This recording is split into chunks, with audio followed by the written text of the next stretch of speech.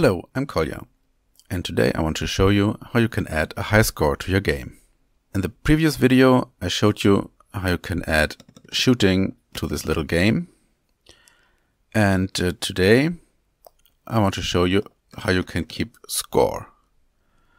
So once I'm hit by the asteroid, my score is stopped here, and um, now I want to want to record what was my highest value I've ever achieved.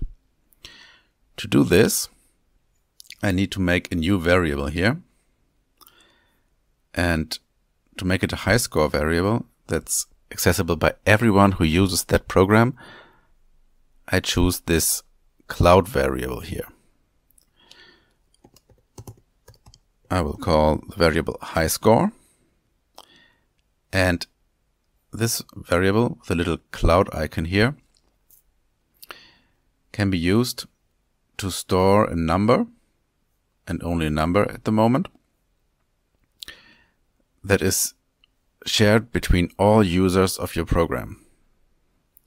So with the right programming, I can make a high score that um, everyone using this program can try to beat.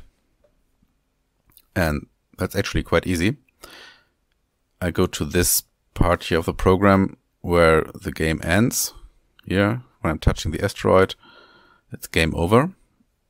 And I add a little check here to see if um, my score beats the high score. So um, if the score at this point is greater than the high score, then I will set the high score to the value I just did. And that's all.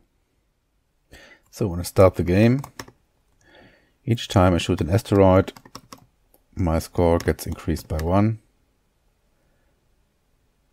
And once I get hit by the asteroid, the game stops. And my score of 2 is now copied to the high score. Let's try to beat that. Okay, so 2. Just one more hit. I'm so bad at this game.